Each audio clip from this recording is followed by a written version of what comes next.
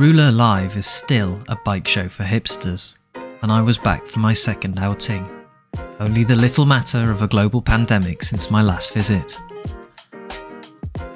I've made this video because I filmed a load of high spec road bikes with my GoPro, and you may want to gander. Also, I want to justify my trip as a business expense. These shots show the vibe. High end bike computers and component makers show off their bling. There are interviews and panel discussions with pro riders, designers, and ultra endurance athletes. Punters queue for fresh coffee and vegan sandwiches with Italian names. I like vegans and Italians. But you came here for the bikes, so I'll show you as many as I can in a small number of minutes. Start the clock! This is the Trek Domane that Lizzie Deignan rode to victory in the inaugural Women's Paris-Roubaix earlier this year. As a Domane owner myself, I took particular pride in the achievement. Then I remembered I had nothing to do with it. The cobbled sections are noted on the top tube. I particularly like the sparkly paint job and the sweet Bontrager Aeolus hoops. But I wasn't the only high profile vlogger interested in the bike. Doesn't she know she's in my shot? Colnago featured heavily at Rouleur Live, coming off the back of a Tour de France victory and also being Italian.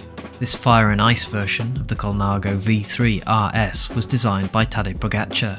Staying with the Sub-Zero theme, this is the Colnago C64 Disc Italia Frozen Edition. That frosted effect is a special CeramicSpeed chain treatment, a no doubt very expensive alternative to your bog standard lube. I assumed it was aesthetic, my comment to that effect drew maximum derision from the guy manning the stand. Joy.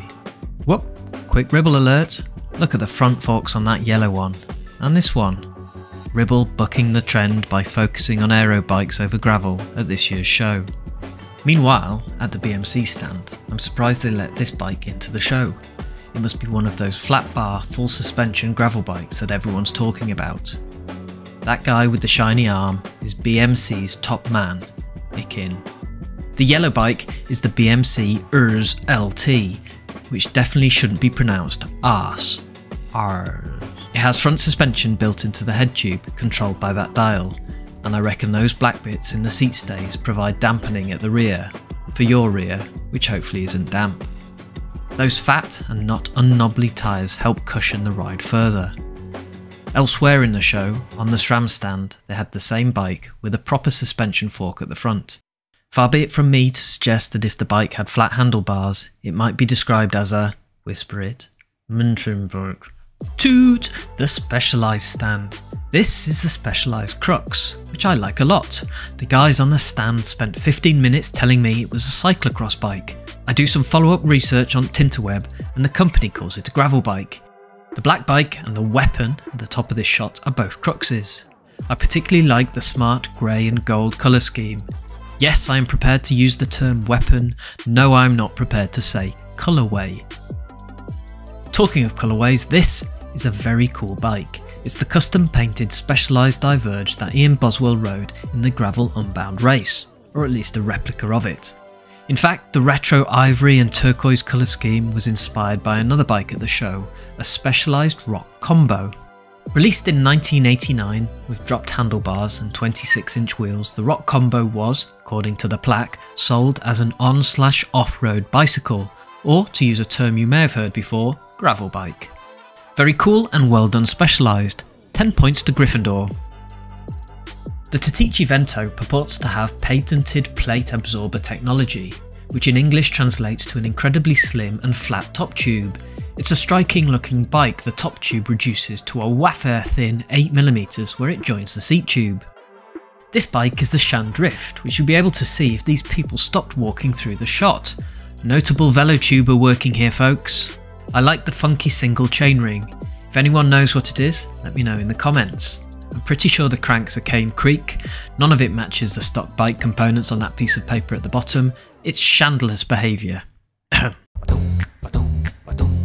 We bring you a brief interlude from all the bikes to show you a lot of helmets, in a video made by a helmet. No, we haven't returned to the BMC stand. This BMC Aero road bike is actually a rather expensive placeholder for the wheels. For this is the DT Swiss stand, and now we're into the section of the video showing top end components attached to high end bikes. Every high end bike needs a spectacularly pricey drivetrain, and Shimano were on hand to provide us with a wallet cratering option in the form of the latest generation 12 speed Dura Ace R9200. This chart shows Dura Ace through the ages. Whoa, the new one is a rod hull of a lot bigger. Oh, that's a close up. Not to be outdone, Campagnolo also had a stand, or actually they were outdone. They didn't really seem to be showing anything in particular off. Even Pogacar's yellow jersey team bike was overshadowed by the special edition Tour de France Colnago we've already seen. Fizik did a better job with the Canyon Aeroad belonging to professional Emma Norsgaard on display. If you rode an aero road bike like that in the recent women's Paris-Roubaix, which the photo seems to suggest, that's quite an advert for the comfort of Fizik's saddles. The Cervelo stand was busy as usual. I don't know why, it was like this last time I visited.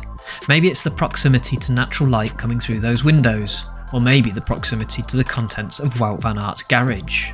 We cyclists are a strange bunch. Most of us have a road bike in our garage that's less than clean. We salivate over shiny, top of the range velocipedes sparkling under the show spotlights.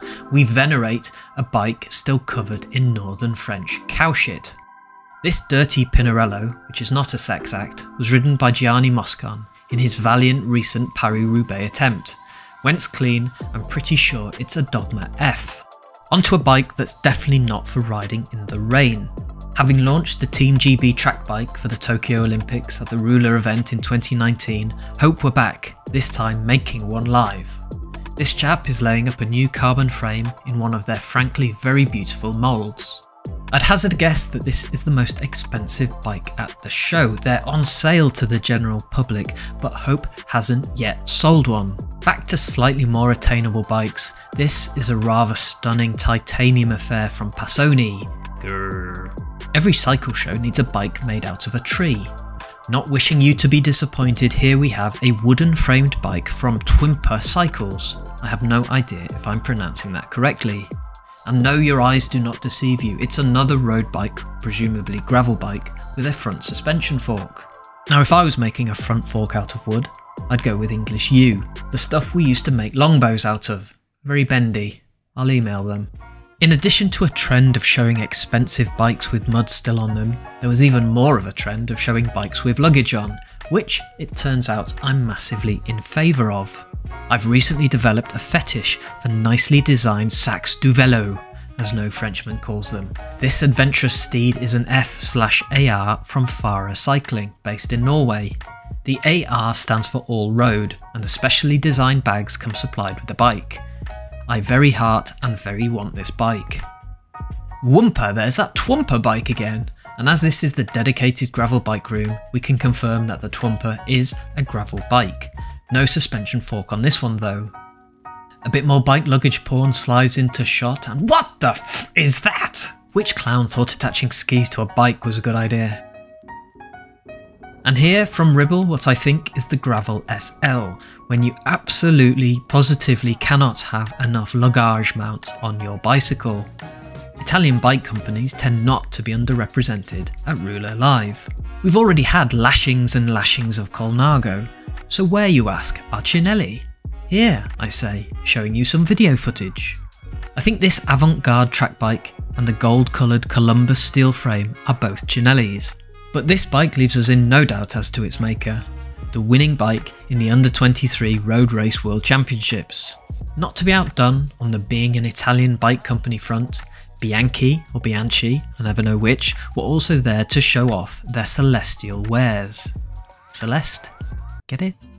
Which brings us to the Wahoo section, where I'm in danger of being a bit of a fanboy. Not ideal when you're trying to publish somewhat impartial bike tech videos. These shots are interesting, yes, interesting because they show two, count them, new Wahoo products.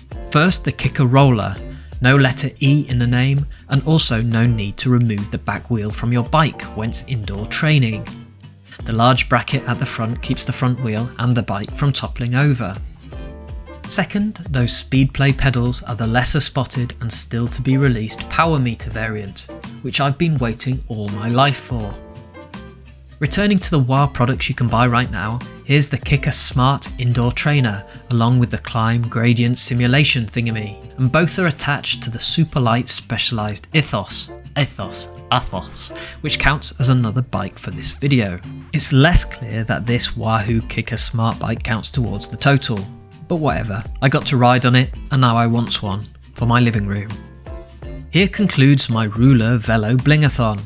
I would tell you how many bikes we've just drooled over, but I couldn't be asked to count them. Let's say a lot. If you like nice bikes, or just a quick dirty Pinarello, please do give this video a thumbs up and I'll see you in the next video.